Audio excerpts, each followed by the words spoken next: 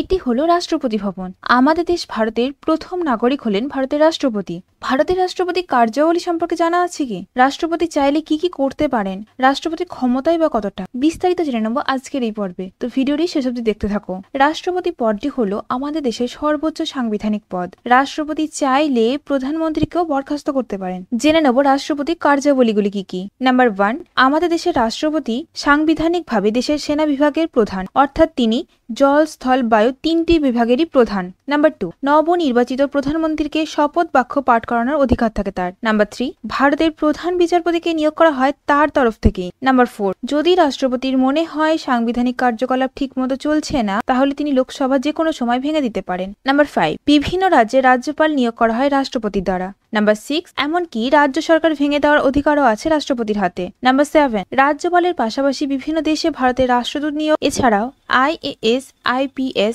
IFS attorney জেনারেলের মতো বিভিন্ন গুরুত্বপূর্ণ পদে নিয়োগ করার অধিকার আছে রাষ্ট্রপতির। নাম্বার এইট কোনো দেশের সাথে যুদ্ধ ঘোষণা বা যুদ্ধ সমাপ্তি ঘোষণার ক্ষমতাও আছে তার। রাষ্ট্রপতি নামেই অন্যান্য দেশের সাথে চুক্তিপত্র তৈরি হয়। সংসদে কোনো বিল পাশ হলেও সেটি আইনে পরিণত হবে না, যদি না তাতে রাষ্ট্রপতি স্বাক্ষর থাকে।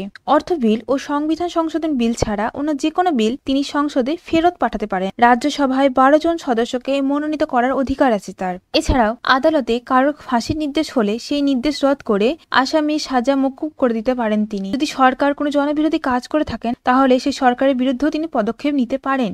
রাষ্ট্রপতির হাতে এতগুলি ক্ষমতা আছে ঠিকই, তবে অধিকাংশই মন্ত্রিসভার অনুমতি সাপেক্ষ।